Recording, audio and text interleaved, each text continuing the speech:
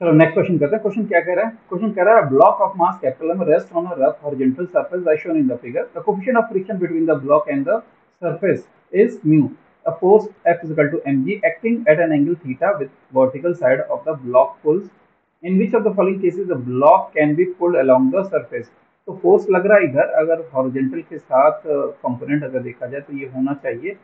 F sign theta और vertical का component होना चाहिए एफ़ कॉस थीटा और अर्थ की ग्रेविटी इस ऑब्जेक्ट को खींचेगी एम जी फोर्स लगा के एफ़ साइन थीटा हॉरिजेंटल में मूव करना चाह रहा है तो intention of motion right side है तो फ्रिक्शन फोर्स लेफ़्ट साइड में लगेगा। तो F R is equal to क्या होगा? म्यू इंटू एन और एन की वैल्यू कैसे कैलकुलेट होगी? वर्टिकल डायरेक्शन में दो फोर्सेज हैं एम जी और एफ़ कॉस थीटा तो M G minus F cos theta normal reaction होगा। एफ़ की वैल्यू ऑलरेडी दिया हुआ है एम इंटू जी तो ये वैल्यू यहाँ रखेंगे तो नॉर्मल रिएक्शन की value M into G bracket में वन माइनस कॉस थीटा आएगी।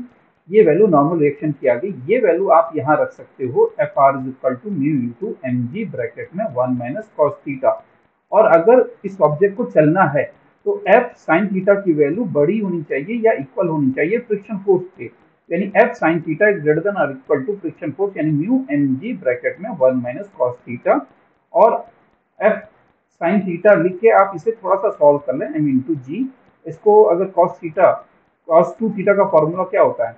One minus two sin square theta होता है। तो अगर थीटा की जगह टू थीटा की जगह थीटा रखा जाए तो cos theta is equal to two sin square theta by two रख देंगे। तो ये पुट करेंगे one minus one plus two sin square theta by two. ये फॉर्मूला रखें तो वन वन कट जाएगा। और इस साइन थीटा को हम लिख सकते हैं। साइन टू थीटा का फॉर्मूला क्या होता है? Two sin theta cos theta होता है। तो अगर साइन थीटा लिखा हुआ है तो two sin theta by two into cos theta by two भी लिखा जा सकता है।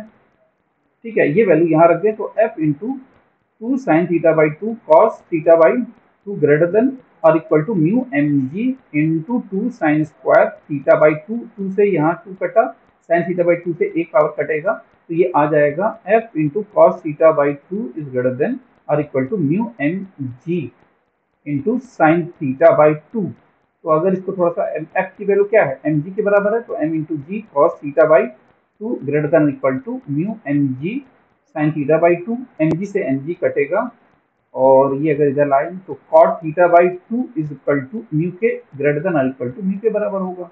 कौन सा ऑप्शन ज़्यादा अप्रोप्रिएट है? बी वाला ज़्यादा अप्रोप्रिएट है। बी वाला नहीं सॉरी डी वाला अप्रोप्रिएट है ना? थीटा बाई टू है ना? डी वाला ज़्यादा अप्रोप्रिएट है। This one is greater than equal to चलो नेक्स्ट क्वेश्चन करते हैं।